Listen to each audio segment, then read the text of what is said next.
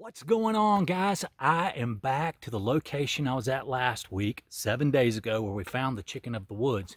I thought I'd do a quick follow-up on that, show you guys, you know, their growth uh, and what's going on with them. So if you're interested in that, stick around.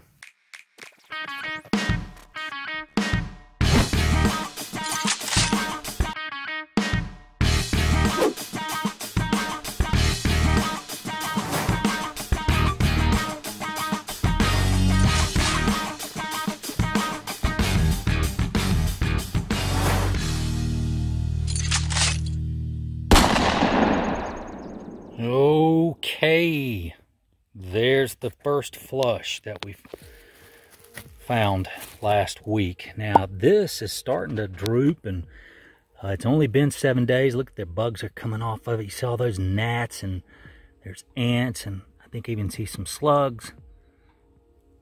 There's a few worms. So this is extremely buggy.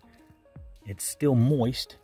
Um, so it's really questionable whether I would harvest this or not. So I'm probably just to leave it, but we might cut a little bit off here in a minute. Let's look down here. Yeah, here. These are these little guys that were popping off. You can see that. But look right here. It looks like it's grown around, and it absolutely has this little... Let me break that off. Let's get these out of here so we can see what's going on. Yeah, look at that. See how it grows? right around it. It's actually kind of connected to it, so see, look at that. Yep. Now that right there doesn't look too bad, to be honest with you. It's not that buggy. Um, it actually looks pretty good. So if I harvest anything, it'll be that right there. Hey, hey, hey, look, look right down there. Turkey tail.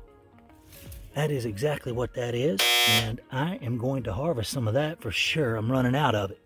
So very, that's a huge score. Awesome. Anyway, let's cut a little bit of this guy off and take a look at it. All right, let's see if I can get one of these upper pieces up here. Cut this loose right off the back. Oh yeah, man, look at all the bugs coming off of it. Actually, uh, looking at that really doesn't look that bad. Um, kind of buggy though, and it appears to have some little holes in it scattered throughout. I don't know if you can see that or not. Right in there, there. I don't know. Questionable. Texture-wise, it actually feels pretty good. It doesn't feel bad at all. Um, I don't know, maybe we'll harvest a little bit of this uh, and get it back to the house and really inspect it. But you can see, look, that right there slug damage. The slugs will get in here and eat on that. I'm not sure what what that is. But anyway, let's harvest a few of these.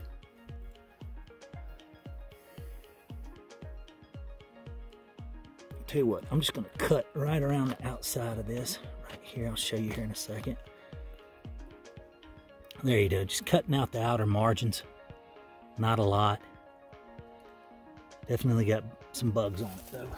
Have to clean that up, get back to the house. Yeah, actually this doesn't seem to feel as bad as and look as bad as I thought it was going to be. Yeah, look at that. That's awesome. Look at that. Very pretty. Sweet. It's also, if you notice, it's a lot more orange underneath right here. This is where the sun hasn't hit, hit it. This is all faded out a little bit. But again, the texture of this actually feels okay.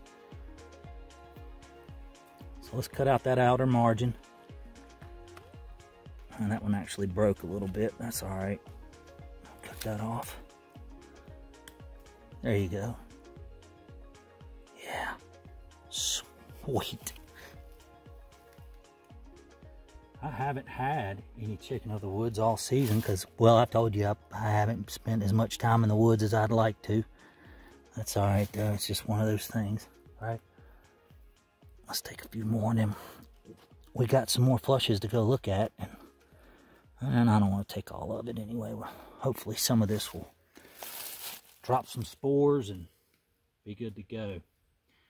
Actually, if we look closely, these pores right here are just starting to open up. I don't know if you can see that, but right in there, I can definitely see with the naked eye that these are opening up. You know, the ideal thing is for them to be real tight, real tight. But I certainly can see some of those pores opening right up. I'm hoping this camera will pick up some of that.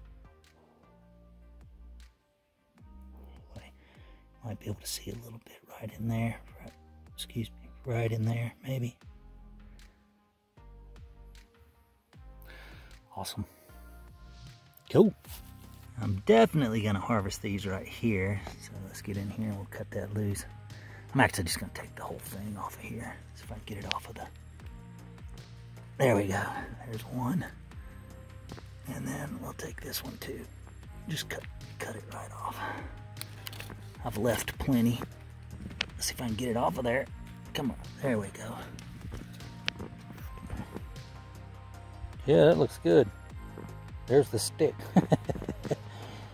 Just kind of engulfs everything around it. Yeah, you see the pores on that one? So they're starting to open, but that's okay. Still edible. Still, texture of it feels really good. So I'm gonna, I'm gonna clean these guys up. Let's put this up. All right, let me get everything in the mushroom bag. All right. Upon further inspection, this is not turkey tail. Look at that. Very, very smooth underside. If it was turkey tail, it'd, it'd be a white polypore, it'd be all white. That is not all white. So uh, it tricked me. From a distance though, you know, right over there, it kind of looked like it. It really did look like it, to be honest with you. But that is not turkey tail. That ain't it. well, that sucks. It's all right. See if I can find some more. The good news is, is turkey tail is very prevalent. So anyway, let's go check those other flushes. Okay, check it out. Really little to no growth at all. I mean, it's definitely gotten a lot lighter, um, but no growth. That interesting. Let me get up here where we can see it. Now, let's, I'm gonna cut off a little bit of this.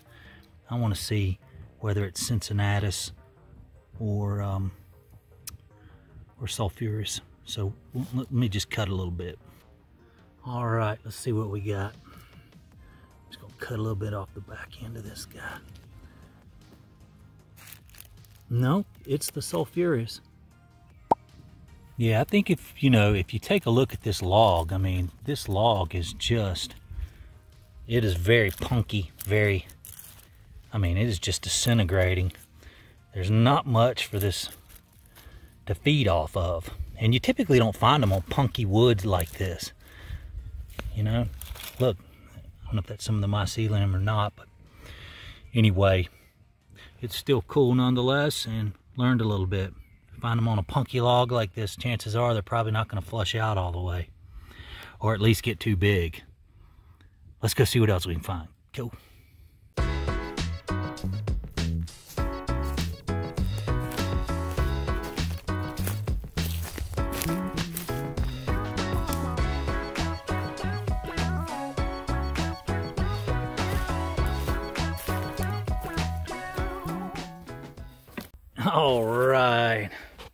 Nice flush of oyster mushrooms. Look at that. Yeah, they're popping out all over this guy. Sweet. Look how young some of these guys are. I mean, they're just starting. Look at that. Tiny. And they're everywhere. Very cool. Definitely gonna harvest a few of these. Awesome. Very cool. You know, I was harvesting a few of these. And then right down here, look at this guy. And you usually don't see them like this, but that's exactly what that is. That's an oyster mushroom. And it's coming off of the off of this root, you know, that's running off into the ground right here. There's another one right there popping out. Very cool. Very cool though. I'm gonna cut these guys loose and look at this. yeah. I'm digging it. Man, they I mean they go way up there. That's awesome. Yeah, you usually don't see them like this where they're completely round. That almost looks like a mushroom that's, you know, popping up out of the ground. Uh, they're normally kind of shelf-like. Um, and you can see some of these are growing a little odd. They're, they're actually growing down, but they don't feel um, bad at all. They're not buggy or anything. I mean, there's obviously a few of them we don't want to mess with. You can see right here some of the earlier. But uh, with all this rain that we've had, look at there, I took, already took some off. Very nice. Very nice. So anyway, let me get these guys and let's go see what else we can find. Cool. All right, I thought I'd show you just real quick this one that's, uh, you know, looks just like a normal, for lack of better words, a normal mushroom, not a shelf-like mushroom. Um, and then we look right here and it's it's actually two of them, but if I was to remove this guy right here, there we go. Look at that. That's something else. And notice how they go all the way down the stipe. There's really not much of a stipe, it's more of a nub, uh, which is an identifying, you know, feature of a of an oyster mushroom. The gills just run all the way down. Very cool. Sometimes you can't even see that. Sometimes it's just like, like that right there. Very cool nonetheless. Awesome. How cool is that? Find a nice flush of oyster mushrooms, you know. Uh, and I don't really worry about lookalikes too much.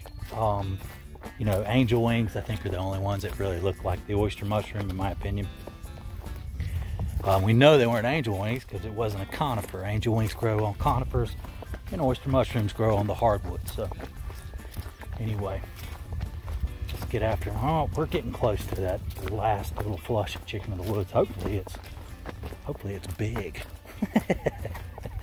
I don't know. We'll see. Well, how sad is that? Something has definitely been munching on this. Or, let's see, let me get my glasses on. Nah, that's not human. I don't think anybody, not unless they just came in here and, you know, tore it off. Uh, in that case, they probably would have taken the whole thing. Um, this looks to be like an animal to me. I think an animal got in here and got this. Maybe a squirrel. I mean, we are on a log that's, you know, high up off the ground, but who knows? Who knows what this is? Or why it's been munched on like that, but nothing left for me. well, that's the way it goes. What are you gonna do? All right, trying to get down the mountain. I hear a storm coming, man. It's, it sounds like it is going to rain. I don't mind the water, but I just don't want to get my oyster mushrooms wet. So I'm trying to hurry up. Anyway, well, at least I found one, you know. I mean, we got a little bit of, of uh, chicken of the woods. So that worked out. Uh, and even though at first glance, you know, it looked buggy, it looked like it was uh, on its way. And, and, and clearly it was. Uh, however, you know, the color of it uh, where the sun had beat down on it had definitely faded it. But once we took that top shelf off, you could clearly see the orange. Uh, the texture of the mushroom was fantastic. The pores had started to open, but they weren't open all the way. So there were some good things as far as that goes. Now I'm just gonna take it back to the house and check it uh, for worms. That's primarily the thing I'm looking for. All right, so I made it back to the house. I started inspecting the mushroom and after I cut into several slices, it was really obvious this thing was way wormy. Uh, it's too much for my taste, so uh, I decided to pass on it. So there's no fine, clean cook today, but uh, you know, it does, uh, it's, it's a good learning experience. I mean, uh, should have recognized and paid more attention up front when I first found it. Uh, you might remember those gnats or flies. They're kind of like fruit flies flying around the mushroom.